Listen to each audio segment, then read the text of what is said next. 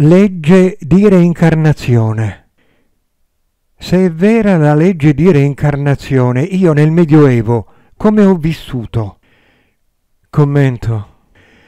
Ovunque tu ti sia incarnato nel cosiddetto Medioevo, hai vissuto consumando le limitazioni che avevi in quel tempo del piano fisico.